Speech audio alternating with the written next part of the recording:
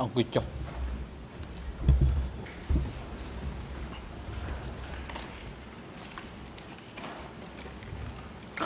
អង្គជំនុំព្រះប្រកាសបន្តកិច្ចដំណើរការនីតិវិធីសកម្មភាពហើយផ្ដល់ការជូនទៅសហមិត្តវិការពីក្តីលោកខៀវសំផនដើម្បីមានឱកាសបន្តការតាំងសំណុតនៃដល់ចំពោះសាក់សី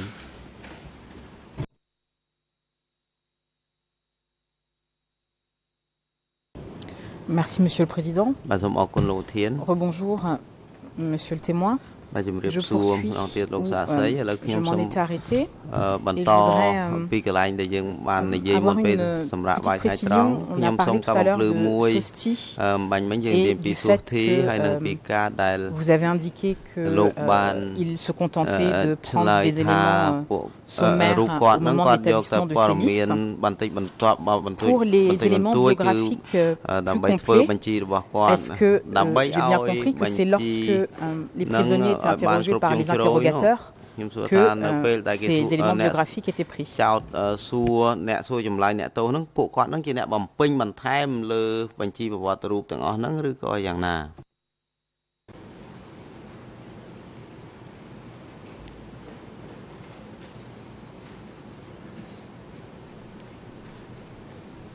អរគុណជំរាបប្រសាសន៍លោកប្រធាន អ្នកសួរកាលណាគេបាំងអ្នកទោសទៅនឹងគេក្តាប់ប្រវត្តិរូបដោយឡែករបស់គេដែលជាប្រវត្តិរូបលម្អិតដើម្បីគេរកចំណុចខ្សោយមនុស្សនោះនឹងអានសួរតទៅទៀតតាមចំណុចខ្សោយដែលគេក្តាប់បាន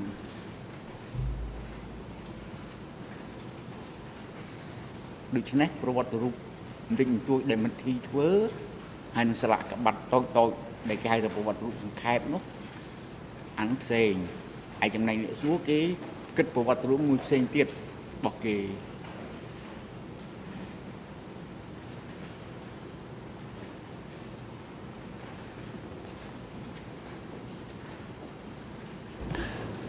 Quand vous dites les interrogateurs ហើយនៅពេលលោក avaient និយាយថាអ្នក euh, សួរ une ចម្លើយ biographie នោះ euh, ក៏ sommaire des អត់ prisonniers, មានប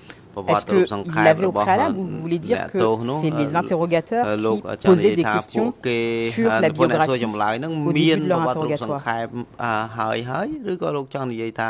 ពួកអ្នកសួរចម្លើយហ្នឹងគឺសួរចម្លើយអ្នកទោសអឺដើម្បីធ្វើប្រវត្តិរូបសង្ខេបអរគុណជាអ្នកប្រសាសន៍លោកប្រធាន អ្នកសួរចម្លើយគេធ្វើប្រវត្តិរូបអាចដែលឡែករបស់គេ ដើម្បីគេស្វែងយល់ចំណុចខ្លាំងចំណុចខ្សោយក្នុងជីវិតមនុស្សនោះនឹងអើគេលើកបញ្ហាសួរ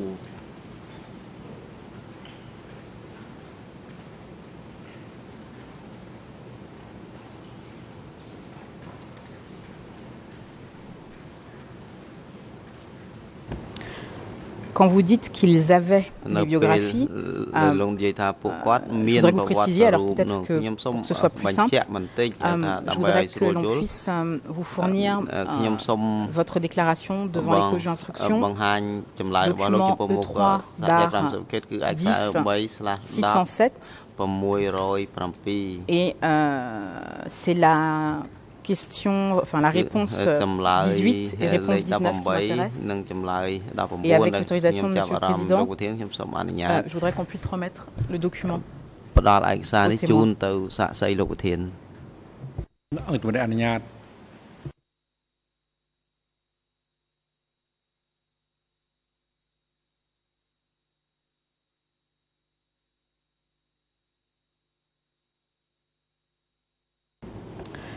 Euh, c'est là où il y a un petit euh, petite étiquette euh, orange qui a été sur le côté de la page, c'est la réponse 18.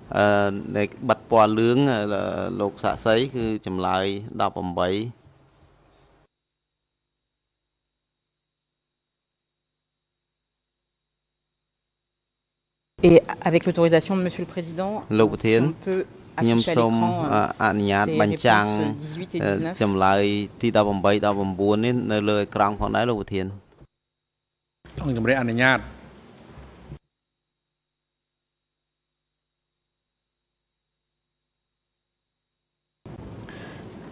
Donc voilà ce que vous dites lorsque vous êtes លោក interrogé ឆ្លើយ sur ដូចត euh, ទៅនេះ la នៅពេលដែល procédure សហ de ប្រតិ confession អឺនៅ et des សហការក្រម biographies. សើម Vous គេ dites សួ ceci. រលោកតទៅ Et, នីតិវិធី euh, ហើយនឹង J'informe euh, la cabine des interprètes que je vais parler en anglais.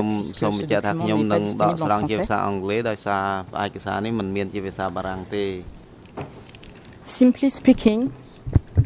a biography included a name, year of birth, and so on. Most Cambodians at that time could not remember like we can today. Therefore, ដូច្ they នេះ took គេយក information ឈ្មោះ such as their ឆ្នាំ name កំណើត and year of យក birth, ទីកន្លែងកំ place of ណើត birth, យកការសិ education, ក្សាយក affiliation, ការសេពគុក occupations, យកមុខរបរ parents' យក occupations, មុខ and រ siblings' បរមេដាបៃ occupation. តាយកមុខ This របរបង information ប្អូ was នបង្កើត gathered ដូ using ច្នេះ the cold គេយកមក interrogation ដេញដោ method. លសម្រាប់អឺសួរដេញដោលចូល Fin de la citation.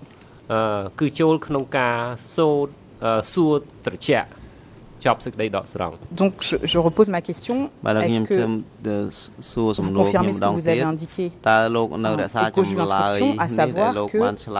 c'est les interrogateurs par le biais de la méthode froide. Ah. Que vous avez évoquée euh, il y a quelques jours qui euh, ces informations biographiques plus complètes euh, dans le cadre du début de leur interrogatoire. អឺច្បាស់អឺលំអិតជាងហ្នឹងនៅពេលដែលចាប់ផ្ដើមសួរចម្លើយអ្នកទោសហ្នឹងគាត់មានព័ត៌មានពីប្រវត្តិរូបហ្នឹងលំអិតជាងហ្នឹងទៅហើយ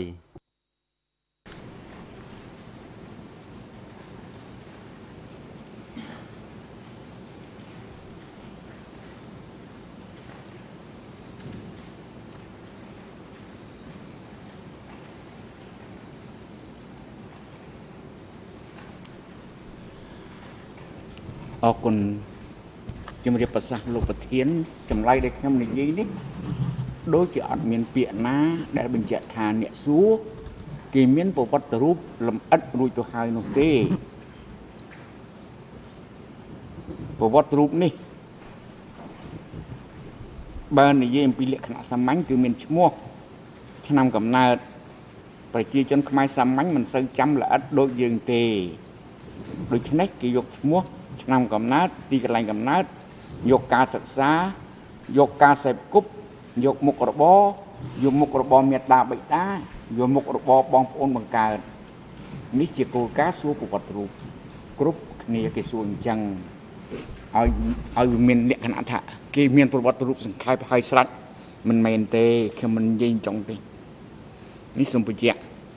ឃ្លាខ្ញុំវាមានន័យអញ្ចឹងថាគេមកដល់គេចាប់ផ្ដើមសួរ ការដែលគេសង្កត់ធ្ងន់នោះមិនមែនការបរិច្ឆេទថ្ងៃណាទេប្រជាជនខ្មែរគឺមិនសូវចាំទេប្រជាជនសាមញ្ញ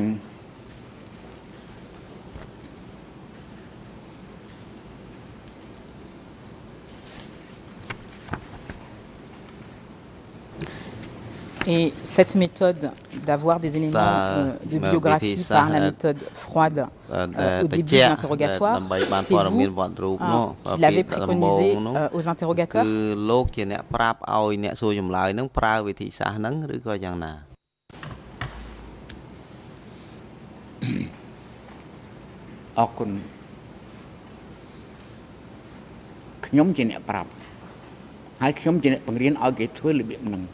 ម្លើយហ្នឹងប្រើវិធីសាស្ត្រហ្នឹងឬក៏យ៉ាងណាអរគុណខ្ញុំជាអ្នកប្រាប់ហើយខ្ញុំជាអ្នកបង្រៀនឲ្យគេធ្វើរបៀបហ្នឹងមានឯកសារមួយដែលខ្ញុំបង្រៀនដែលគេកត់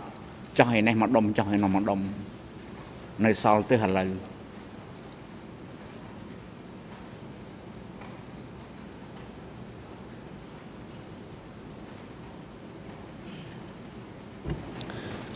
Un autre point sur lequel je souhaiterais avoir clarification. Euh, le 20 juin, vous avez répondu à, à, mon confrère Copé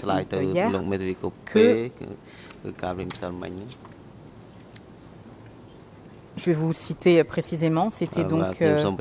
audience du 20 juin, un peu après 15h39 et 18 secondes. La question qui vous est posée est la suivante. នឹង18សេកុងសំណួរដែលសួរសួរដូចតទៅ Avez-vous នេះ effectivement dit Ah, cela talo, et est-ce euh, qu'effectivement il ne, Patibanda suffi- Yang il ne Chang suffisait Menete. pas qu'une personne soit mise en ហើយ cause តើ une មិន seule ត្រឹម fois ត្រូវទេឬថាបើមានតែឆ្លើយដាក់តែម្នាក់ហ្នឹងអឺ Et มัน La អាច question យក c'est ជា pour ការ être បានទេ arrêté euh, គឺ lorsqu'on a été ក្នុង mis ន័យ en ដើម្បី cause ចាប់ euh, par អ្នក des ណា aveux. ម្នាក់បាទ Votre តា réponse ម est la ចម្លើយ suivante. សារភាពដែលឆ្លើយដាក់ចម្លើយ À របស់ ce លោកឆ្លើយ propos, ដូចតទៅ une mise en cause une seule fois ne suffisait pas à arrêter une personne. Le principe est dicté par Pol Pot au cours de l'anniversaire du 17 avril et de ses célébrations. C'était qu'il fallait 10 aveux pour pouvoir arrêter quelqu'un. Fin de citation. Je voudrais, avant de poser ma question, vous renvoyer aussi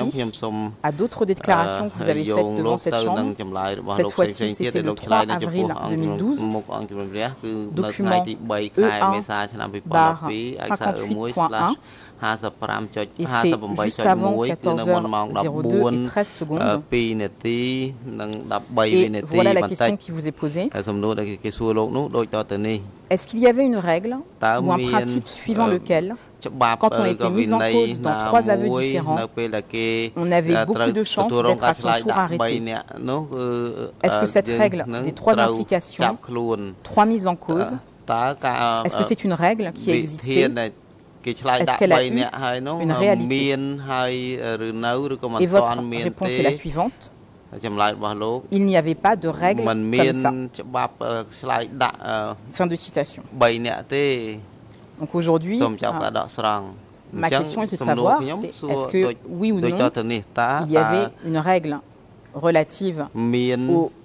nombre d'implications dans des aveux ច្បាប់ ou តា pas ក់ទ Parce ងទៅ que នឹងអ្នក de ដែល votre គេ réponse ឆ្លើយ en ដាក់ចំនួន 2012, គោល j'avais ការ cru ណ៍ដែលគេ comprendre ឆ្លើយ qu'il n'y en ដាក់ avait នោះ pas. អឺគេសួរលោក Est-ce que ថា vous pouvez នោះ expliquer à la លោក chambre ថា3ដងនោះថាมันមានគោលការណ៍ហ្នឹងទេអញ្ចឹងលោកមានណែប្រតិកម្មយ៉ាងម៉េចដែរ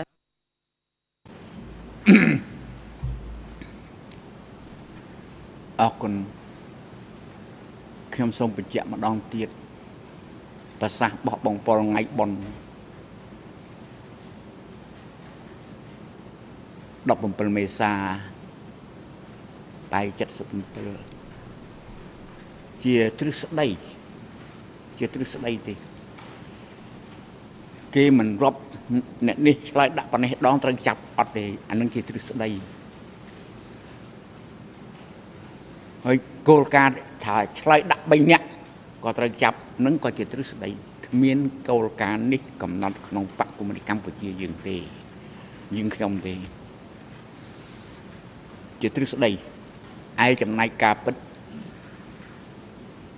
ខ្ញុំសូមលើកឧទាហរណ៍មួយបងមុកបងមុកនេះ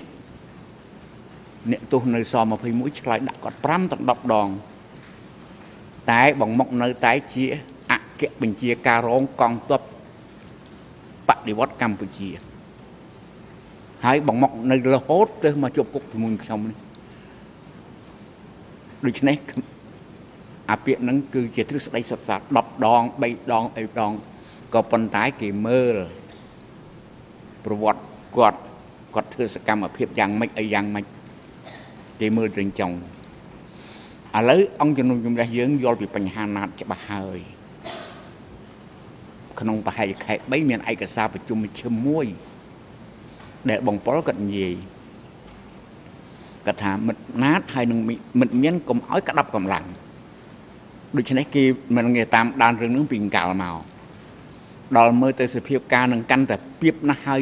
កែលេងកើតហើយគេរុញឲ្យទៅធ្វើទូតទៅក្រសួងការបរទេសមិត្តណាតទៅក្រសួងការបរទេសបងកម្ពុជាក៏ទៅក្រសួងការបរទេសធ្វើទូត ហើយដល់សភាពការនឹងកាន់តែមើលទៅទៅធ្វើទូតមិនកើតបានគេចាប់មកទាំងបងកម្ពុជាទាំងបងណាតទាំងបងហុកសិតតែនៅក្រសួងការបរទេសដូច្នេះ10ឬ3ជាទ្រឹស្ដីឯចំណាយការគឺគេសង្កេតជាក់ស្ដែងឯណោះទៅតាមរបស់គេហើយគេចាប់ថ្ងៃណា វាឃើញសភាពការណាដែលគេត្រូវតែចាប់អានបានគេចាប់នេះ និយាយមួយម៉ាត់ឲ្យទៀតគឺ807ជាអ្នកសម្រេចនេះចាប់កម្មាភិបាលបកបកជនកម្មាភិបាលបកគឺ807ជាអ្នកសម្រេចដូច្នេះយក10ដង20ដងប្រហែលដងអត់មានទេគ្រាន់តែនិយាយជាទ្រឹស្ដីឲ្យល្អមើលប៉ុណ្ណោះទេខ្ញុំសូមចប់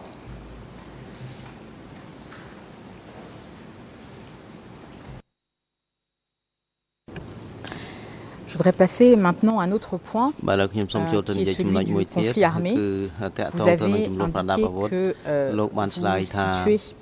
euh, le début de ce conflit armé au 31 décembre 77. Est-ce que j'ai bien compris votre déposition 31ធ្នូឆ្នាំ1977គឺជាការចាប់ផ្ដើមនៃចំនួនប្រដាប់អាវុធ Et quand je dis conflit armé, je parle bien នៅ évidemment ពេល du ដែល conflit ខ្ញុំ armé និយាយ avec le ពី Vietnam. ចំនួន Pour que ប្រដា ma ប់អាវុធហ្នឹង question ខ្ញុំ soit សំ complète. ដៅទៅលើចំនួនប្រដាប់អាវុធជាមួយនឹងប្រទេសវៀតណាមអានេះខ្ញុំសូមបញ្ជាក់សំណួរខ្ញុំតើលោកកំណត់ថ្ងៃហ្នឹងមែនទេថ្ងៃទី31ខែ12ឆ្នាំ1977ហ្នឹងអរគុណ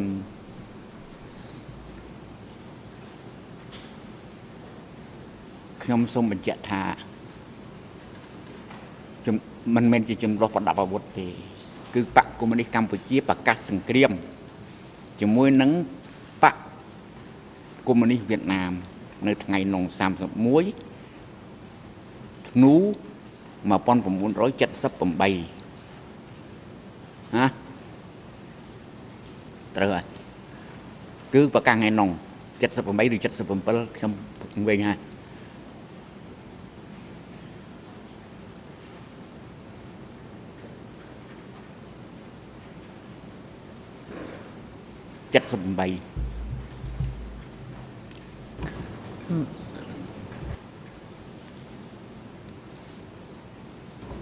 Hier, il me semble que vous euh, avez euh, le, 30, le, 31 décembre euh, 77, ou en tout cas on vous rappelait des déclarations que vous aviez tenues dans le procès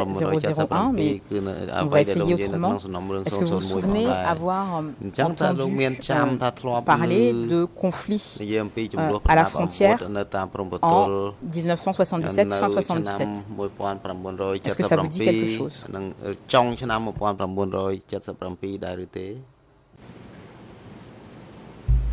ឈប់សិនណាខ្ញុំនៅវែងអា77 78ហ្នឹងដូច្នេះខ្ញុំຕົកបញ្ហានេះមកឡែកសិនការប៉ះទង្គិចគ្នារវាងទាហានយុទ្ធជនរបស់បកកុម្មុយនីសកម្ពុជានិងយុទ្ធជនរបស់បកកុម្មុយនីសវៀតណាមមានដែលចាប់ផ្ដើមខ្ញុំដឹងមានឯកសារមួយកាលនោះផាន់ហៀមផាន់ហ៊ានហៀមកាត់តវ៉ាជាមួយនឹងអ្នកតាក់តង របស់បកកុម្មុយនីសកម្ពុជាពីរឿងការដែលយើងវាយចូលទឹកដីគេឯណាគេទ្រាំបានអីហ្នឹងដូច្នេះវាចាប់ផ្ដើមឡើងសារថ្មីជាជាលក្ខណៈប៉ះទង្គិចគ្នាទៅនៅនៅតាមព្រំដែនពីថ្ងៃ15ខែឧសភា1976ផាន់ហ៊ានគាត់និយាយគាត់អ្នកចាប់ផ្ដើម ទៀមទាបញ្ហានេះ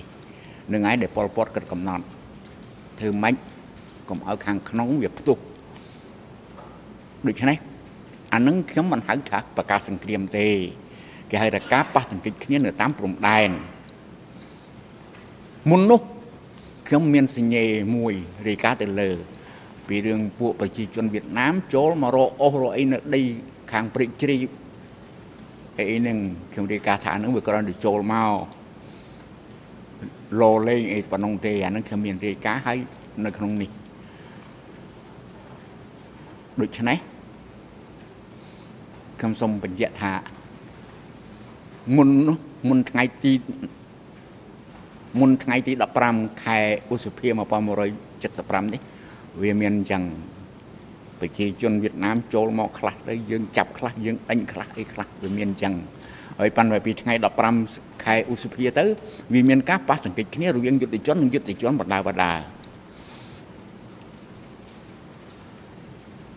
រហូតមកដល់ថ្ងៃ31ធ្នូ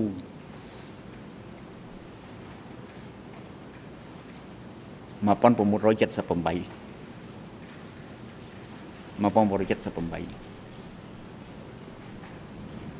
ទៅ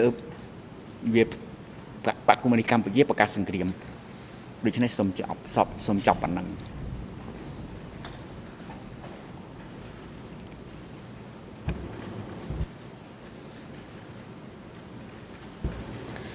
Alors, je, je, voudrais que vous fassiez très attention quand vous répondez à mes questions, euh, de pouvoir répondre en fonction des, de, de ce que vous saviez à l'époque. Ma question maintenant, c'est de savoir est-ce que vous vous souvenez avoir entendu un discours de Pol Pot début 1978, en tout cas au plus tard en avril 1978, au cours duquel il a évoqué les incidents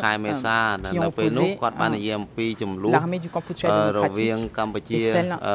du Vietnam. និងកងទ័ពកម្ពុជាយុទ្ធបតៃហើយនិងកងទ័ពវៀតណាម de début 78 vous dit quelque chose នៅដើមឆ្នាំ1978នេះគឺការខែ4តើលោកមានចាំសន្ទសន្ទរកថានឹងរបស់ពលពតដែរឬទេអរគុណជំរាបប្រសាសន៍លោកមេធាវីមុននឹងឆ្លើយសំណួរនេះរបស់ជំរាបប្រសាសន៍លោកប្រធាន មុននឹងឆ្លើយសំណួរនេះរបស់មេធាវីខ្ញុំសូមបញ្ជាក់បន្តិចពីរឿងខ្ញុំឆ្លើយនៅសំណួរមុនដូចជាអត់អីលើសពីការយល់ដឹងរបស់ខ្ញុំដែលនៅក្នុងក្របខ័ណ្ឌពីថ្ងៃ17មេសារហូតដល់ថ្ងៃ1900ម៉ែ7មករា1979ទេដូច្នេះមិនគួរក្រោនរំលឹកខ្ញុំពីបញ្ហានឹងតទៅទៀតទេឯចំណែក ទី2សន្ទរកថាដែលមេធាវីសួរខ្ញុំខ្ញុំមិនដឹងសូមជម្រាបបញ្ជាក់តើសន្ទរកថាណាមួយខ្ញុំអត់អត់ដឹងសូមបញ្ជាក់ម្ដងទៀតតើសន្ទរកថាណាមួយ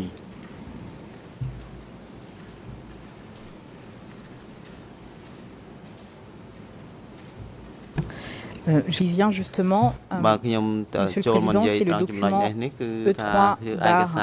4604 qui euh, est un discours qui figure dans l'étendard révolutionnaire d'avril 78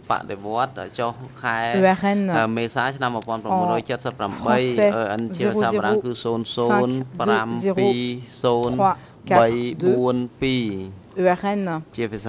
en anglais. Anglais 00 5 1 9 8 3 2 et ERN en Khmer. C'est deux paragraphes qui m'intéressent. Qui sont aux URN 000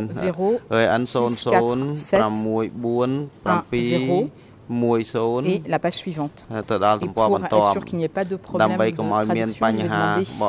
à mon confrère Kong de lire en khmer ces deux paragraphes qui m'intéressent, comme ça ce sera directement en khmer et avec l'autorisation de Monsieur le Président, si on peut afficher également ces paragraphes mon équipe s'en charge. បាទ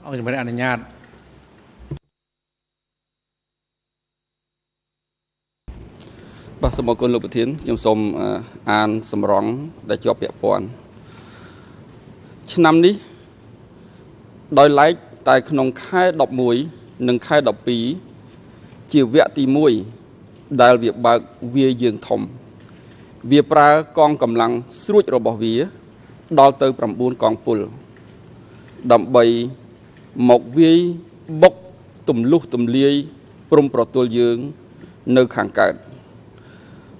9កងពលស្រួចរបស់វា ដោយមិនរាប់កងរត់រាយជាកងតំបន់ជាកងស្រុក ជាកងឆ្លូបអីថែមទៀតទេ គឺនិយាយជាកងប្រមូលផ្ដុំនៅក្នុង9កងពលនេះ មានកងទ័ពស្រួចឆើតរបស់វា ច្រើនកងពលទៀត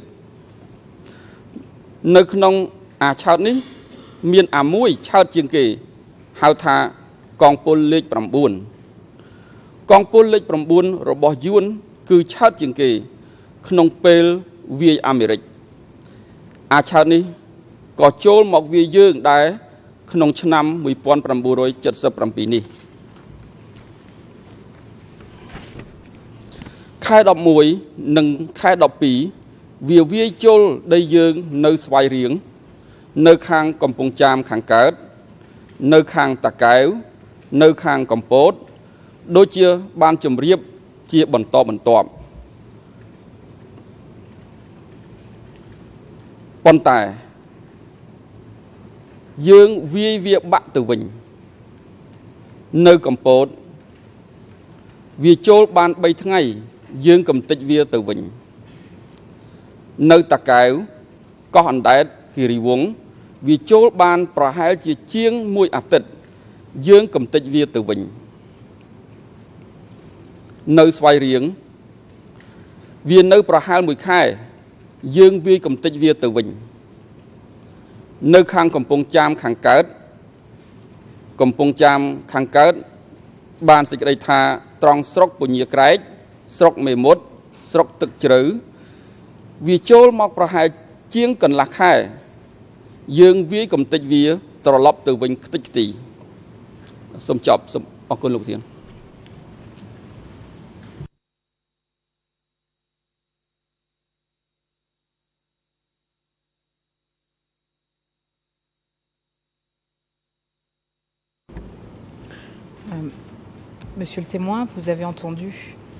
បាទលោកសាក់សីលោកបានស្ដាប់សម្រងដែលលោកមេធាវីគង់សំអនអានជាភាសាខ្មែរផ្ទាល់ហើយតើលោកនឹកឃើញទេតើសម្រងនេះសម្រងនៃសន្ទរកថារបស់ប៉ុលពតនេះវាដូចនឹងអ្វីដែលលោកបានឮនៅសម័យកម្ពុជាប្រជាធិបតេយ្យដែរឬទេអរគុណ លោកប្រធានខ្ញុំចង់សុំឲ្យមេធាវីបកលឯកសារនឹងមកឲ្យខ្ញុំមកច្បាប់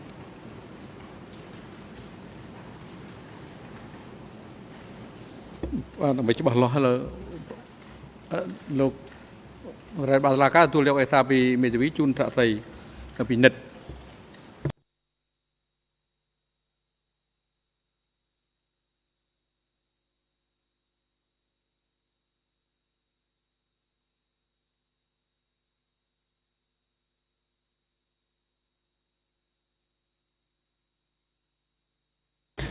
dans la mesure où ce discours a été lu en khmer. Euh, je suppose que vous l'avez entendu, en tout cas, dans le texte, il n'y a pas de problème de traduction. Est-ce que ça vous rafraîchit la mémoire sur quelque chose que vous avez entendu ដូចលើនឹងអ្វីដែលលោកបានស្ដាប់ឬពីការសម័យនោះទេហើយលោកនឹកឃើញទេពីអំពីសន្ទរកថាហ្នឹងអរគុណខ្ញុំសូមអនុញ្ញាតសួរបញ្ជាក់បន្តិចដកស្រង់ពី ទស្សនវដ្តីតុងបដិវត្តលេខប្រមាណខែអស់សំទុះទស្សនវដ្តីតុងបដិវត្តខែណា ឆ្នាំណាសូមមេត្តាប្រាប់ខ្ញុំបន្តិចមក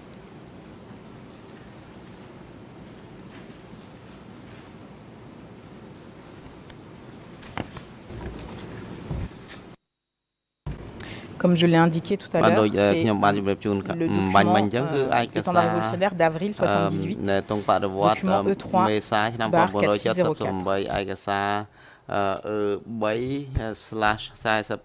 Mais la question c'est est-ce que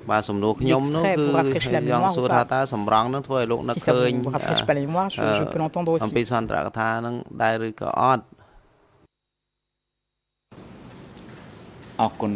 អរគុណសំណួរនេះខ្លីសុំឆ្លើយខ្លីតិចចុះខ្ញុំធ្លាប់ឮថ្ងៃនោះជាថ្ងៃបុណ្យ17មេសា1978សូមបញ្ចប់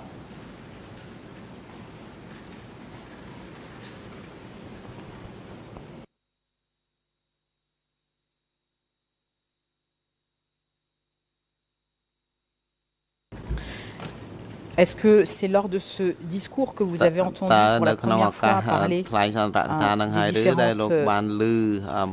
des différents affrontements qu'il y avait eu en novembre et décembre 1977 Ou est-ce que même avant ce discours, vous en avez entendu parler à S21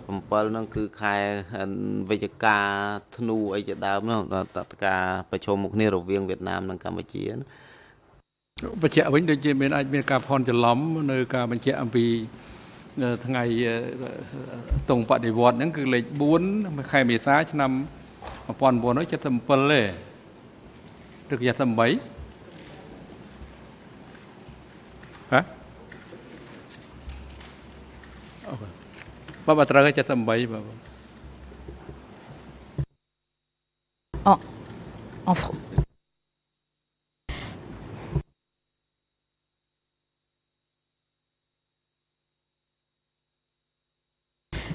Effectivement, Monsieur le Président, c'est la date que j'ai mentionnée en français en tout cas.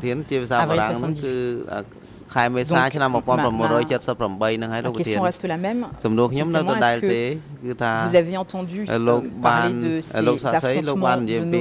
ការប្រជុំមុខគ្នា Est-ce que vous, vous en avez entendu pour la première fois parler lors de ce discours ou est-ce que vous en aviez entendu parler auparavant quand Vous étiez à S21 ឬក៏លោកបានហ្នឹងជាលោកលឺលើកទី1ឬក៏លោកបានលឺតាំងពីមុនហ្នឹងទៀតកាលលោកនៅមន្ទីរស21នោះมันពេលឆ្នាំ78សន្ទរកថាហ្នឹងទេ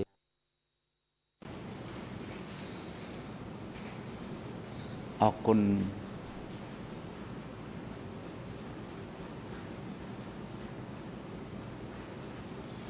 ខ្ញុំឮមុននោះ ខ្ញុំចាំច្បាស់ណាស់នៅថ្ងៃ6មករាឆ្នាំ1978ប៉ុលពតធ្វើបុណ្យមួយហើយគាត់សុទ្ធសុទ្ធគាត់ថ្លែងការមួយ អំពីការកសាងកងទ័ពត្រូវឈលលើមូលដ្ឋានកម្មករអកសិករក្រីក្រ វាមិនខ្វះប្រភពផ្ដល់មនុស្សមកឲ្យយើងទេ នៅពេលនោះប៉ុលពតក៏ដេញយួនចាញ់មួយសាងដែលចូលលុកលុយនឹង ដូច្នេះ6មករា78វាមានបញ្ហាហ្នឹងដល់ខែមេសា1978បានបានគាត់ធ្វើប៉ុនមួយ នៅលើវិធីការធិបតីនឹងមានគ្នា5នាក់ខ្ញុំនិយាយរួចហើយឥឡូវខ្ញុំសូមនិយាយម្ដងទៀតថា5នាក់ណាមានបងប៉ុលបងនួនបងវូនបងហែមហើយនឹងអ៊ំជួនជឿននៅនៅលើវិធីការធិបតី ខ្ញុំសូមចប់បញ្ហានេះប៉ុណ្ណេះខ្ញុំលើមុន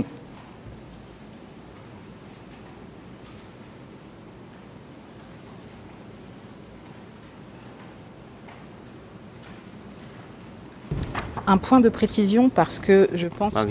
euh, nous avons eu un, un problème de, de traduction euh, à l'audience du 13 juin. À l'audience du 13 juin, euh, un petit peu après 10 heures euh, 55 vous évoquez en français on a entendu 196 officiers de police qu'il existait 196 officiers de police au Kampuchea démocratique et puis un petit peu plus tard, on a entendu bureau de police. Euh, en Khmer, on m'indique que vous évoquez 196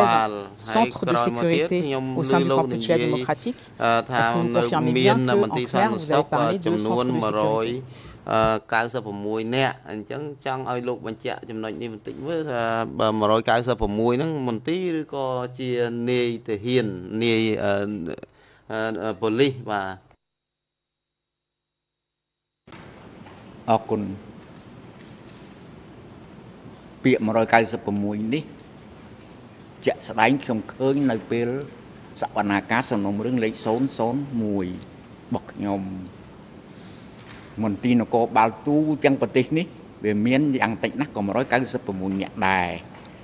ក្នុងនោះមានស21មួយផង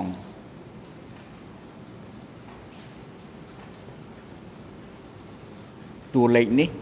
ខាងបរិអញ្ញាសការិយាល័យសហបរិអញ្ញានេះទៅសេកំណត់មិនខ្ញុំតាមដានស្រាវជ្រាវទេ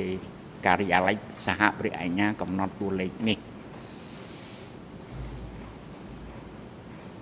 ជាក់ជាក់ម្ដងទៀតដូចដើម្បីច្បាស់លាស់ព្រោះមិញគាត់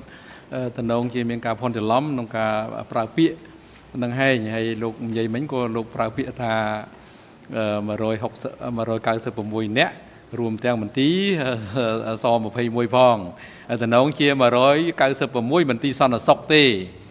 សូមលោកបញ្ជាក់ចំណុចនេះដើម្បីឲ្យបានជាស្រឡះ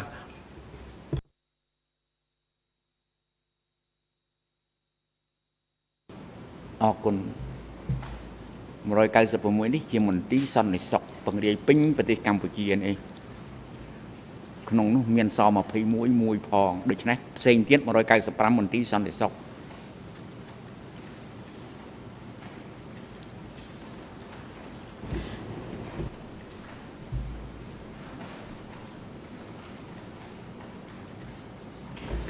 Vous venez euh, d'anticiper ma, la, ma question suivante était où est-ce que vous avez eu ce chiffre que vous venez d'indiquer que c'est dans le cadre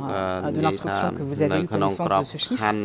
Donc ma question euh, logique qui vient après, c'est vous-même, pendant la période constituelle démocratique, de combien de centres de sécurité aviez-vous connaissance លោកដឹងថាមានមន្ទីរសន្តិសុខចំនួនប៉ុន្មានដែរនៅនៅក្នុងរបបកម្ពុជាប្រជាធិបតេយ្យ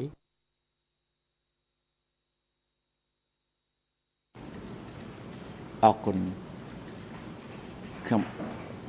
ដឹងតិចណាស់មន្ទីរសន្តិសុខកំពង់ធំខ្ញុំធ្លាប់ចូលទៅក្នុងគ្រប់គ្រងដោយអាប្អូនថ្លៃខ្ញុំឈ្មោះកៅលីថងហួតវាជាអនុប្រធានមន្ទីរសន្តិសុខនឹងហើយមន្ទីរសន្តិសុខតំបន់32នេះខ្ញុំស្គាល់ដឹងឮយូរហើយរបស់មិនណមប៉ុន្តែមុនដំបូង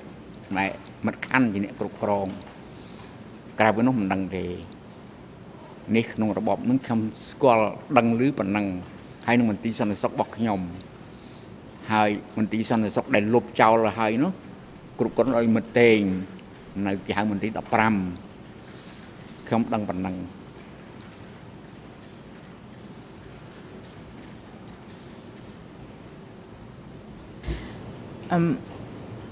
Est-ce que euh,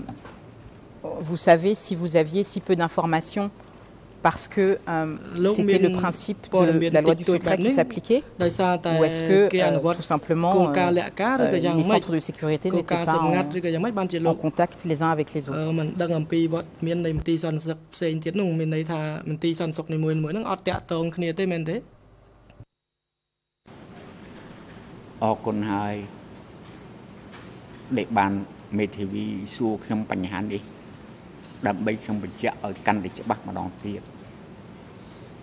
មេធាវីសួរខ្ញុំបញ្ហានេះដើម្បីខ្ញុំបញ្ជាក់ឲ្យកាន់តែច្បាស់ម្ដងទៀតមន្ទីរសន្តិសុខស្រុក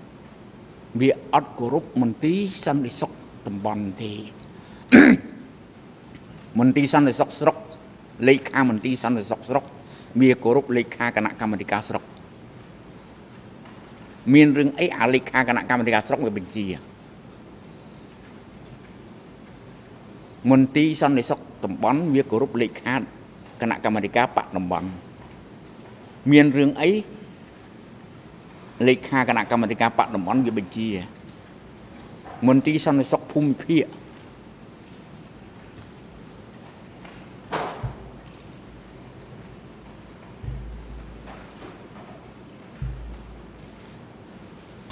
Excusez-moi,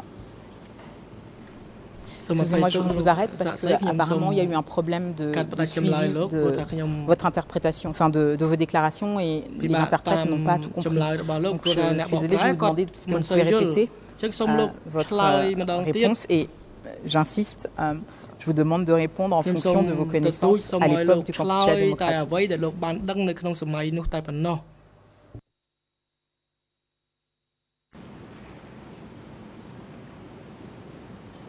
អរគុណខ្ញុំនិយាយមិញហ្នឹងគឺជារឿងដែលខ្ញុំដឹងក្នុងសម័យនោះ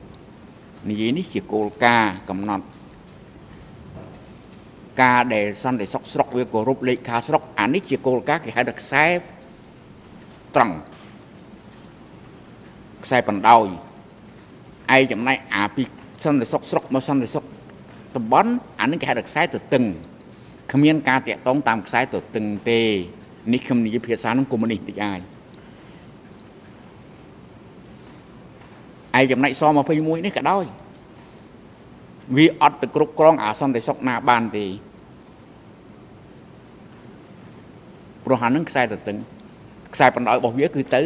870ស្ដាប់តែ870ទទួលបញ្ជាតែ870រាយការណ៍ឲ្យតែ870នេះជារឿងដែលខ្ញុំដឹងពេលនោះ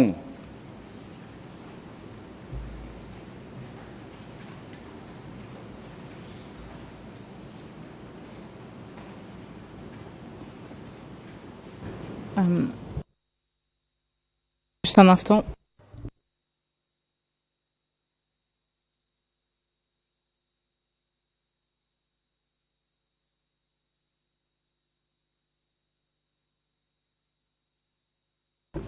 Je vais avancer, je vais revenir sur un point, euh, un autre problème de traduction que nous avons identifié euh, entre le khmer et le français. Mais en attendant, euh, j'avance sur un point. vous avez évoqué votre rencontre avec Pang pour la première fois, si j'ai bien compris, lorsque vous étiez encore au locaux de la PJ. Est-ce que j'ai bien compris votre déposition? Je ne vous demande pas de re-rentrer dans les détails de votre rencontre, mais est-ce que c'est bien à la PJ que vous l'avez vu la, première fois?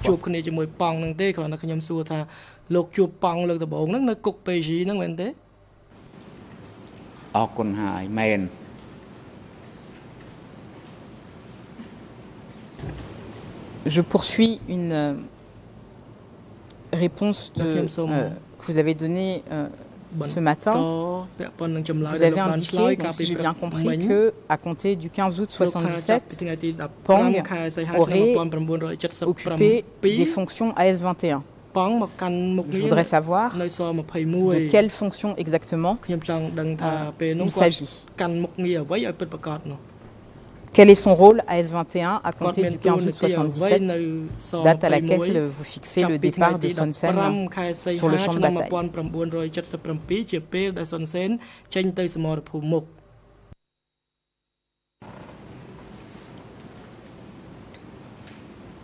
អរ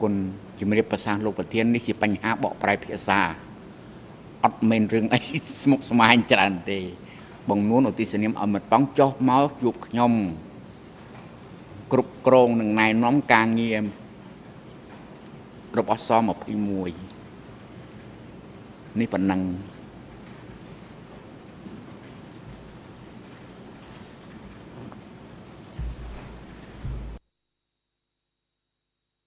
នរឿងអីស្មុគស្មាញច្រើនទេបងនួនឧទ្ទិសនាមអមតប៉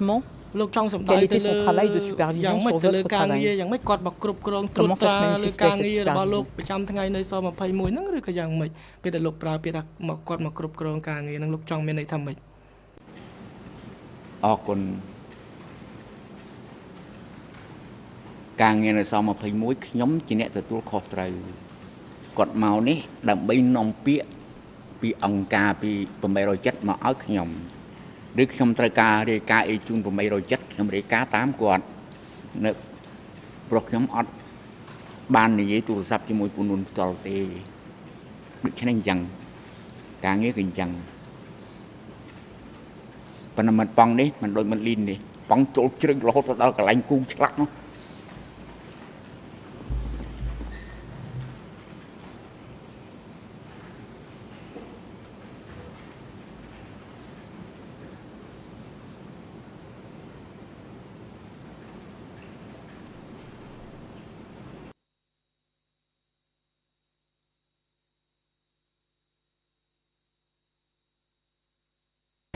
Alors, euh, on va essayer de faire dans ces cas-là une, une distinction. Vous dites je lui faisais rapport, enfin je lui donnais euh, des éléments qu'il transmettait à 870 et lui-même vous remettez des éléments qui venaient de 870. C'est bien ce que je comprends de votre déposition. Là, euh, ça ne me semble pas, et vous allez m'expliquer si c'est autrement, mais un travail de supervision, j'ai l'impression que vous décrivez quelque chose qui est euh, celui du rôle d'un intermédiaire. sur cette partie du travail de Pang, est-ce qu'il avait d'autres éléments sur lesquels il s'impliquait, sur les aveux, euh, sur euh, le travail au sein même de S21, à part cette transmission d'informations. À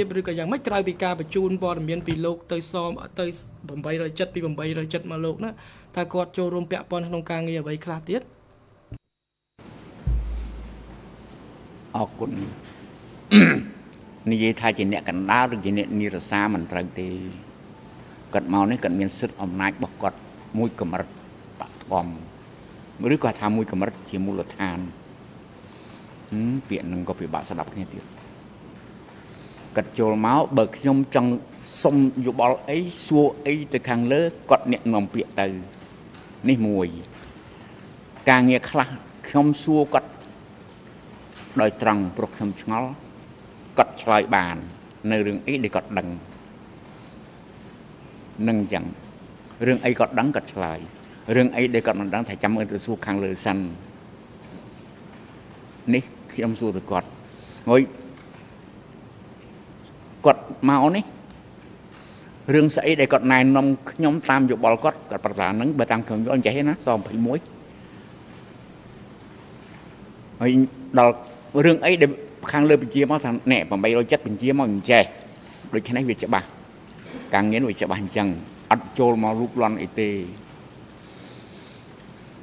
គេក្នុងថ្នាក់ជាមេចុះមក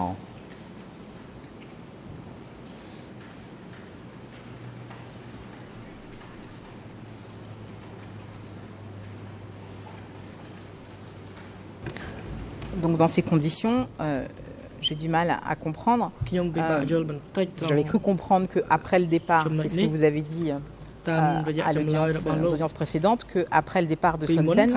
c'était euh, Yun Chea qui était votre supérieur direct. Or là, selon votre description, j'ai l'impression que c'est plutôt Pang. Euh,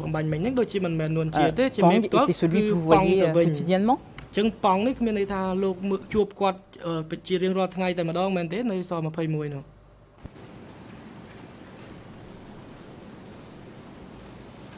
អរគុណ នេះជាការយល់ឃើញរបស់មេធាវី ដែលមិនធ្លាប់ស្គាល់ការងារនៅក្នុងបកកុម្មុយនីកម្ពុជាជាពិសេសការងារខាងសន្តិសុខនេះមេខ្ញុំនៅតែពូនួនអញ្ចឹង3ឬ4ថ្ងៃគាត់ហៅខ្ញុំទៅធ្វើការម្ដងឯចំណាញ់មិត្តប៉ងថ្ងៃណាគេមកគេមកមិត្តលីនថ្ងៃណាគេមកគេមកអត់រើសថ្ងៃទេ មួយថ្ងៃពីរដងក៏មានមួយថ្ងៃម្ដងក៏មាន មានឯកសារអីដែលខ្ញុំត្រូវផ្ញើទៅពូនួនខ្ញុំអាចផ្ញើតាមមិត្តប៉ងចម្លើយសារភាពរបស់ខ្មាំងអានឹងអញ្ចឹងឯចំណែកពូនួនណាណាទៅហ៊ានផ្ញើឯកសារជូនគាត់មកដល់តែហៅមិត្តទឿងឲ្យមកយកឯកសារឬក៏ផ្ញើឯកសារជូនគាត់តាមមិត្តប៉ងហើយនឹងមិត្តលីននឹងដូច្នេះមេផ្ទាល់របស់ខ្ញុំមេធំរបស់ខ្ញុំគឺពូនួន មេបន្ទាប់របស់ខ្ញុំគឺបងសុនសេនតែគាត់អញ្ជើញទៅសមរភូមិបាត់ហើយដូច្នេះហើយបានពូនួនឲ្យពីរនាក់នេះចូលមកស21ដើម្បីយកសភាពការច្បាស់នេះប៉ុណ្ណឹង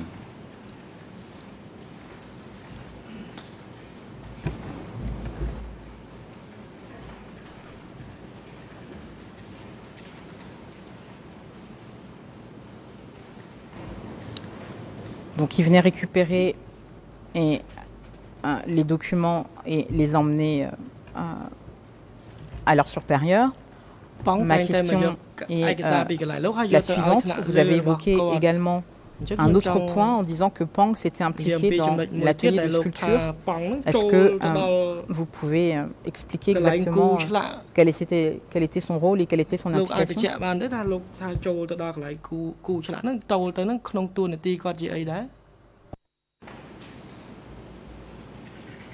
គុណ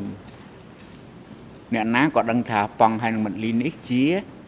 និរសាឬក៏ជាងកងការពាររបស់បងប៉ុលរបស់មេធំបំផុតកាលនោះនៅស21គេយល់ត្រឹមប៉ុណ្ណឹង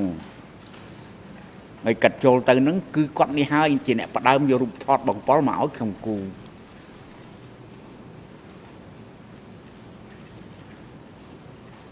ដូច្នេះកាត់ចូលទៅគាត់ជួយមើលអាស្គូដូចឬមិនដូចស្អីស្អីនោះហើយចូលទៅក្តាប់សភាពការនៅក្នុងនោះឃើញអីស្អីស្អីគាត់រាយការជូនបំពល់ជូនពូនួននេះគឺខ្ញុំសូមបញ្ជាក់ប៉ុណ្ណឹងគាត់ចូលចូលដល់នោះ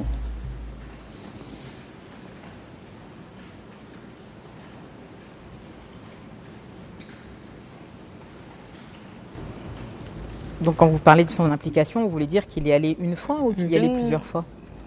ចូលហ្នឹងលោកសំដៅតែចូលតែម្ដងទេឬក៏ចូលច្រើនដងអរគុណមិត្តប៉ងនេះ ទៅផ្ទះខ្ញុំ ទៅដល់ឯងកន្លែងគូឆ្លាក់ច្រើនដងច្រើនដងកន្លែងគូឆ្លាក់ប្រហែលជា3ដង ដូចជា3ដង2 3ដងមិនច្បាស់ប៉ុន្តែមិនមិនលើសពី5ដងទេ ហើយយើងថាមិនលើសពី3ដងទេចុះឯចំណែកផ្ទះខ្ញុំញឹកណាស់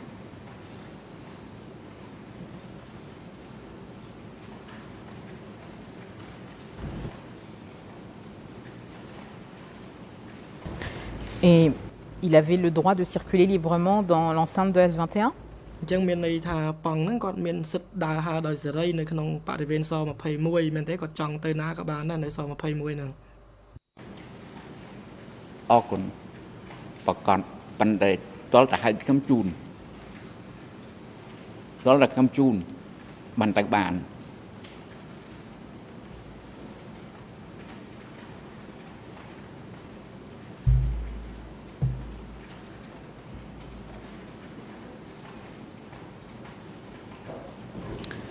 Et est-ce qu'il pouvait assister aux interrogatoires euh, des prisonniers សួរចម្លើយ អ្នកទោសនោះគាត់ចូលរួមទេអត់ទេមិត្តបងអត់ចូលរួមសួរចម្លើយអ្នកទោសទេ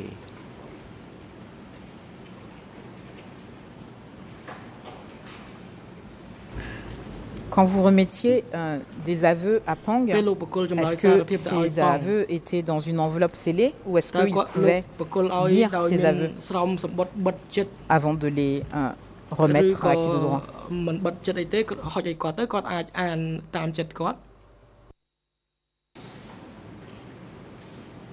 អីទេហុចឲ្យគាត់ទៅគាត់អាចអានតាមចិត្តគាត់អរគុណស្រោមសម្បត្តិស21ទៅ807មិនអន់ទេខ្ញុំសូមជម្រាបថាមិត្តហោគេទៅរើបានអាស្រោមសម្បត្តិរបស់ទូតបែលហ្សិកកៅស្អិតណាស់ហើយស្រោមក្រាស់បិទចិត្តរហូត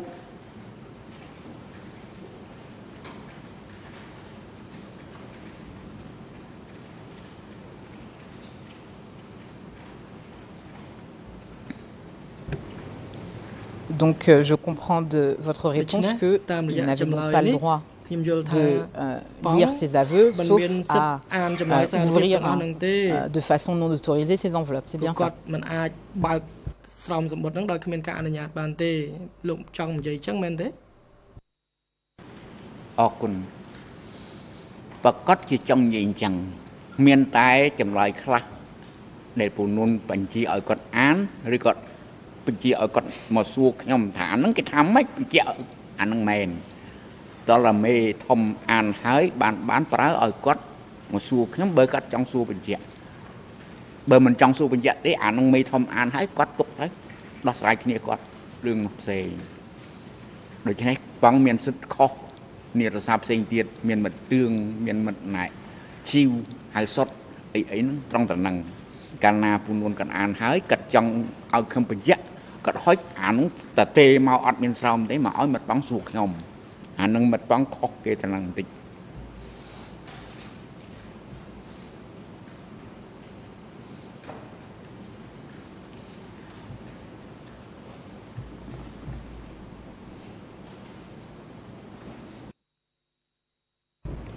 Vous-même, vous n'étiez pas présent lorsque euh, Pang remettait les aveux aux gens euh, à qui devait les remettre. Vous-même n'étiez pas présent à ce moment-là, n'est-ce pas?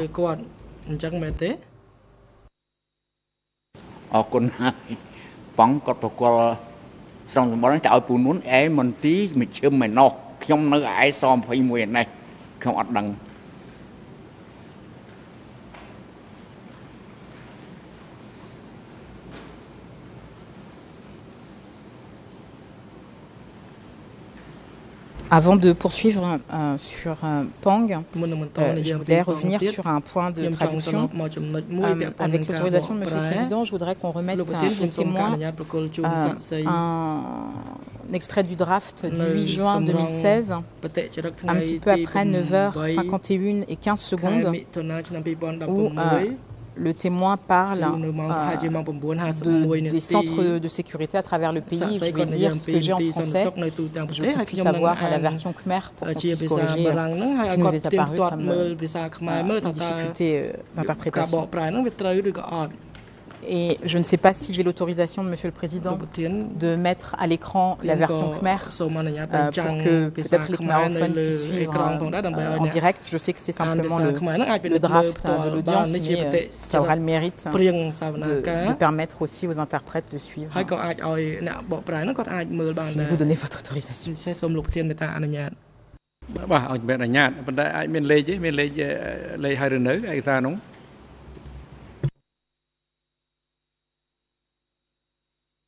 Donc elle, je n'ai pas de cote et je n'ai pas de RN puisque ce sont les, les PV euh, provisoires, les procès-verbaux provisoires d'audience du 8 juin 2016. Donc c'est simplement, je peux dire que c'est après 9h51 et 15 secondes. Euh, je vous laisse prendre connaissance, monsieur le témoin. Euh,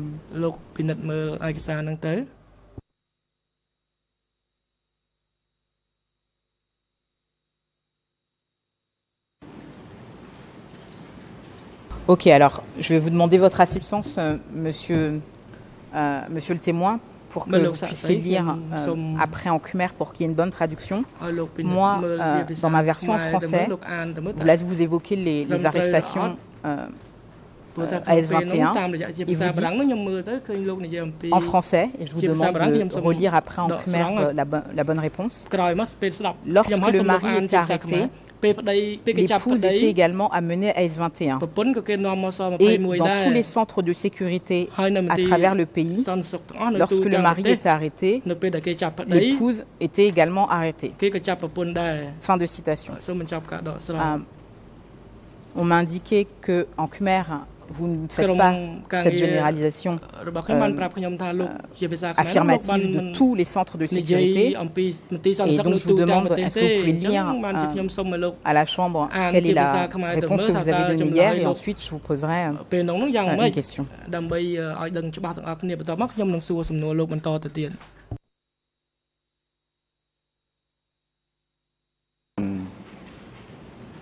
តែគេចាប់ប្តីហើយគេចាប់ប្រពន្ធមក ដូច្នេះតួនាទីរបស់ស21ក៏ដូចប្រហែលជាសម្រាប់ទូទាំងមន្ទីរសន្តិបាលទូទាំងប្រទេស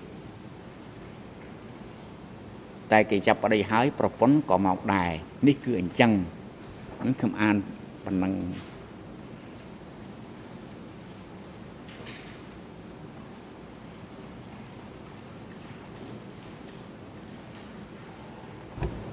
Euh,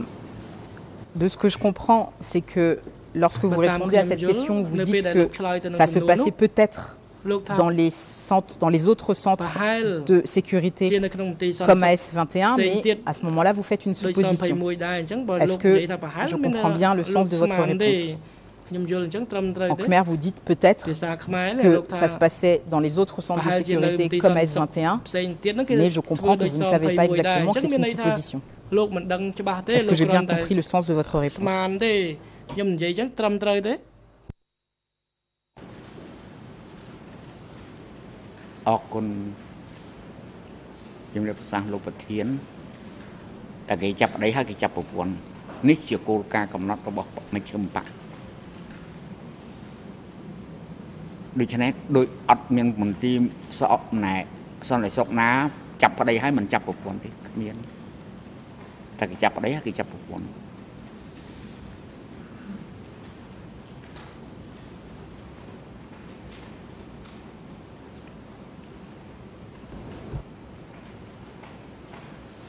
ប៉ុន្តែអាចផ្្លាត់មានមួយមួយដែរអាចផ្្លាត់មានមួយមួយដែរឧទាហរណ៍គេចាប់បងកំហួតគេចាប់អ្នកបងដឹមសរឿន តែកូនគាត់កូនច្បងឈ្មោះកែខណ្ឌរាសុំជួបខ្ញុំនឹងនៅនៅរស់ព្រោះមនុស្សនោះធ្វើការនៅបូព៌ាឯចំណែកលោកគ្រូកែកំហួតនិងអ្នកបងដឹមសរឿនធ្វើការនៅឯពាយប់ដូច្នេះគេចាប់តែពីអ្នកឪម៉ែមកនៅសល់កែខណ្ឌរានៅនោះ នេះវាអាចមានអញ្ចឹងផ្លាត់បានជាខ្ញុំនិយាយថាប្រហែលវាមិនជាទូទៅគោលការណ៍គឺទាំងអស់នឹងខ្ញុំសូមនិយាយប៉ុណ្ណឹង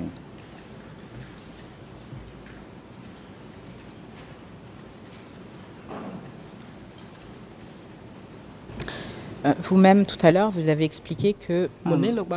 S21 n'avait pas pour vocation de euh, superviser les autres centres, les autres centres de sécurité. Pardon. Et vous-même, vous, euh, vous, avez indiqué que pendant le Kampuchea démocratique, euh, vous aviez connaissance de deux autres centres de sécurité sur les 196 qui ont été identifiés dans le cadre de votre procédure. Donc, ma question est la suivante.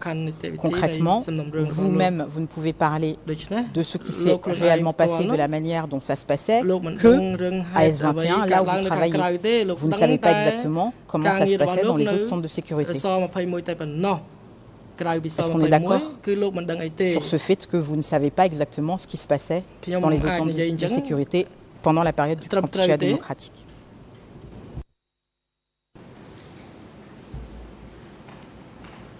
អរគុណត្រឹមត្រូវជាមូលដ្ឋានត្រឹមត្រូវជាមូលដ្ឋាន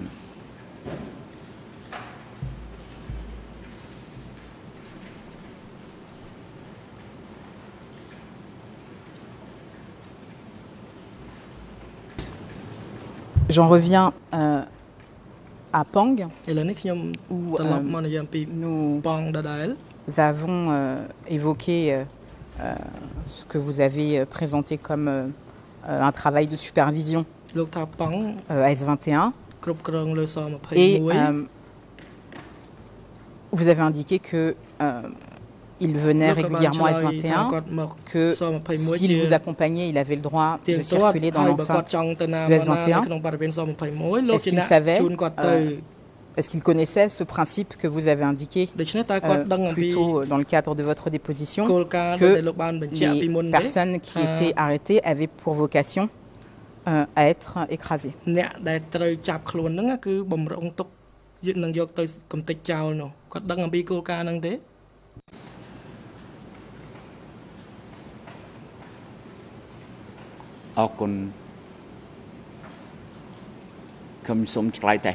ខ្ញុំជឿថាគាត់ដឹងព្រោះនេះជាគោលការណ៍សកលរបស់បកកុម្មុយនីកម្ពុជា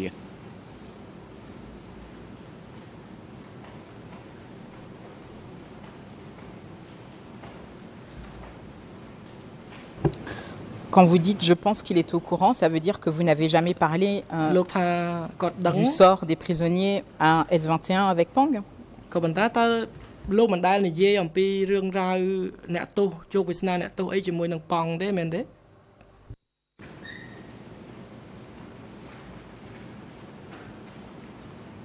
នេះវាជាគោលការណ៍សកលរបស់បកកុម្មុយនីកម្ពុជាហើយចាប់ត្រូវតែកំតិចដូច្នេះទៅនិយាយពីជោគវាសនាដល់មិនទៀតអត់ទេអត់មានរឿងប្រជែកគ្នាលើមាគ៌ាបកទេមាគ៌ាបកមិនមែនជារបស់សម្រាប់ប្រជែកគ្នាពិភាក្សាត្រូវឬមិនត្រូវទេបកកំណត់មិនត្រូវតែធ្វើអញ្ចឹងនេះមាគ៌ាបក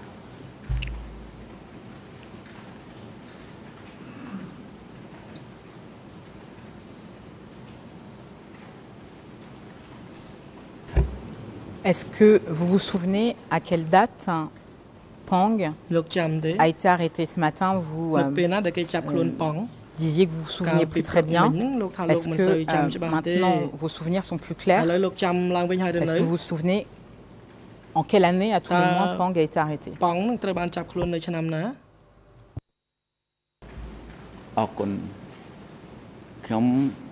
បើមេធាវីមិនសួរក៏អង្គរខ្ញុំសុំនិយាយនៅពេលចុងបញ្ចប់និយាយរឿងប៉ង់នេះកំណត់ឃើញហើយថ្ងៃដែលបងវុនក៏ទៅនេះប្រហែលជាថ្ងៃ20ឬ21មេសា1978ដូច្នេះមិនមែនប៉ុនខូបបាក់1977ទេ1977មិត្តប៉ង់ចេញទៅចិនជាមួយនឹងបងប៉ុល ហើយហួសទៅដល់កូរ៉េនោះជាមួយគ្នាដល់ពេលប៉ុននោះខ្ញុំធ្វើប៉ុននោះទៅ3ថ្ងៃ17 18 16 17 18 3ថ្ងៃហើយនៅសល់កន្លែងនោះមិនទាន់បានរើរុះយកទៅរៀបចំបងវុនកាត់មកដូច្នេះក្រោយថ្ងៃ18មេសាគេបងវុនកាត់មក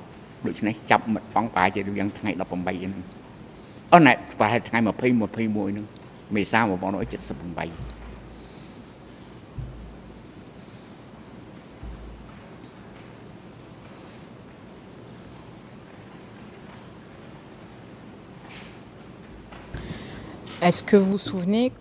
combien, enfin déjà, euh, est-ce que euh, à l'issue de sa période de détention à S21, il a été écrasé លោកចាំទេថាក្រោយពីគេឃុំគាត់នៅស21ហើយហ្នឹងគេកំទេចគាត់ចោល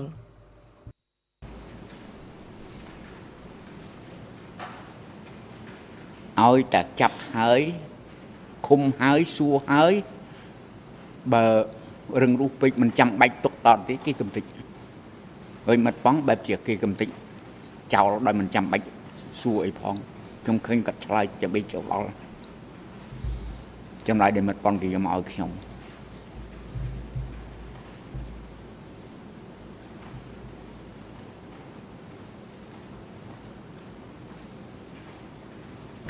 Est-ce que vous vous souvenez à quelle date son exécution est intervenue ការបរិច្ឆេទនៃការកំទេចប៉ងទេអរគុណខ្ញុំមិនចាំទេ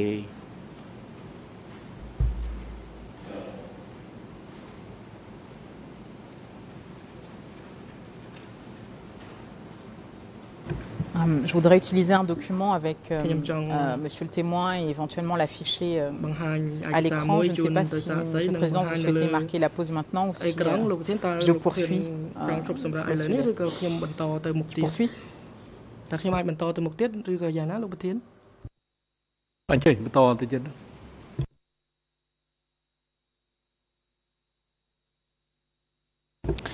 Vous remercie. Donc, je voudrais que l'on puisse afficher à l'écran. Euh, le, la page E3, enfin,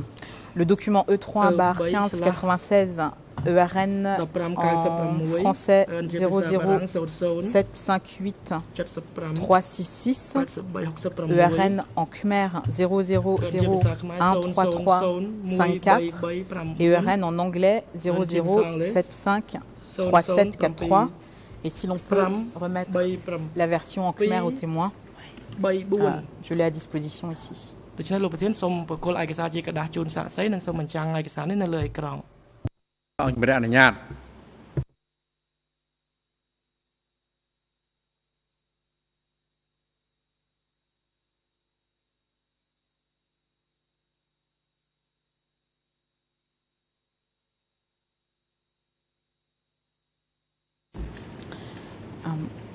Vous avez normalement le document sous les yeux et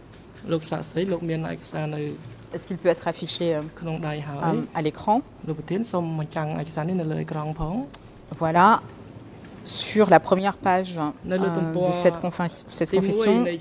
il est indiqué les aveux de 010.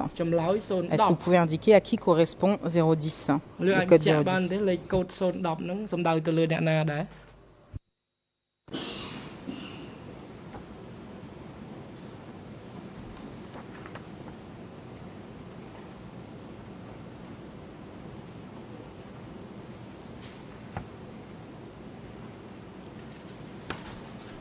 អរគុណសូមបញ្ជាក់ថា10នេះសូម10នេះខ្ញុំមិនចាំទេដំបងនេះកំណត់ឈូកលេខប្រមាណស្អីប្រមាណអាហ្នឹងក៏ខ្ញុំភ្លេចអស់លីងទៅហើយមានមានកំណត់ជាលេខអញ្ចឹងបានលើភ្លេចអស់ហើយ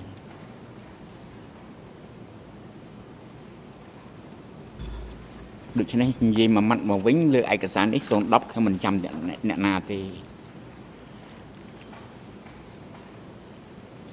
បាទអរគុណអរគុណលោកស័ក្តិឥឡូវនេះដល់ពេលសម្រាប់ហើយសម្រាប់ការសម្រាប់ចាប់ពីពេលនេះទៅទៅរហូតដល់ម៉ោង3សូមអញ្ជើញចូលវិញដើម្បីបន្តកិច្ចដំណើរការសមនាការមន្ត្រីរដ្ឋបាលតុលាការសម្របផ្ដល់កន្លែងសម្រាប់នៅបន្ទប់រងចាំសម្រាប់សាក់សីដល់សាក់សីរូបនេះនៅក្នុងម៉ោងពេលជប់សម្រាប់និងអញ្ជើញគាត់មកកាន់កន្លែងផ្ដល់សក្ខីកម្មក្នុងបន្ទប់សន្និការនេះវិញនៅវេលាម៉ោង3សម្រាប់ចុះ